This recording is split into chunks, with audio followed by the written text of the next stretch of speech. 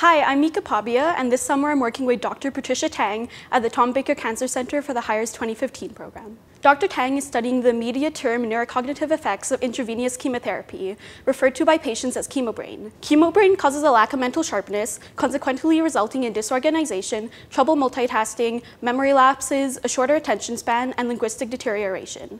Neuroimaging studies have even shown structural changes in the brains of chemotherapy patients. This summer, I am completing neuropsychological testing on patients both pre and post chemotherapy using two video games on a tablet computer.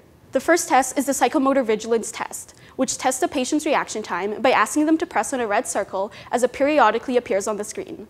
The second test is the trail making task B, which asks patients to connect the dots in ascending order, alternating between letters and numbers.